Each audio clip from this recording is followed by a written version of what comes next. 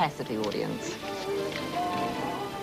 Finally, a musical match to beat the band. Two pianos, two of the world's top performers, and more than two decades of hits.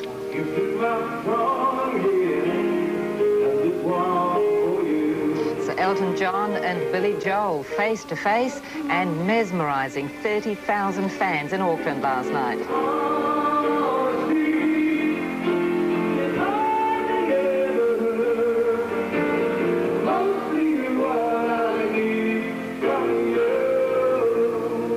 Hours of music and no major trouble for police. The twosome plays a second Auckland show tonight. Great to see all that energy on show in Auckland. Yes, especially in Auckland. Well, that's our bulletin for Sunday because the cricket ran past.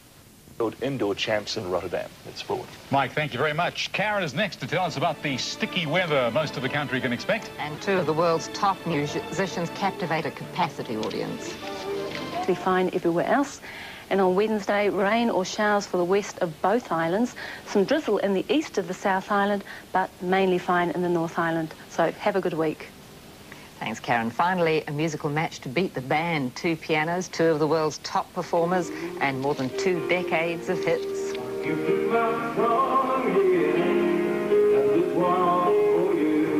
Elton John and Billy Joel face to face and mesmerising 30,000 fans in Auckland last night.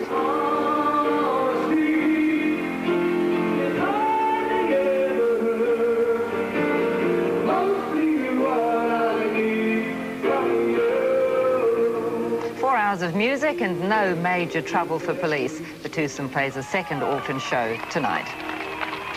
Great to see all that energy on show.